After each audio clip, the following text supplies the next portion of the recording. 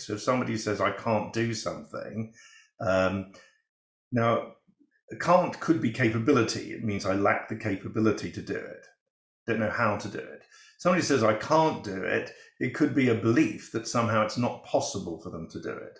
Or if somebody says, I can't do it, it could be that at some level, at the level of identity, I, you know, there's something that I can't do about that.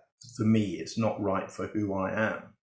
Now, that's very different things, isn't it? If you can't do something, you could do a training course.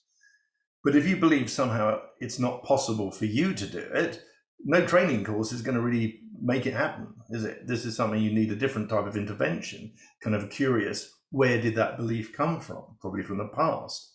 How did that belief come about? That somehow I can't sell, or I can't do maths, or I can't meet the right person, or I can't this, or I can't that.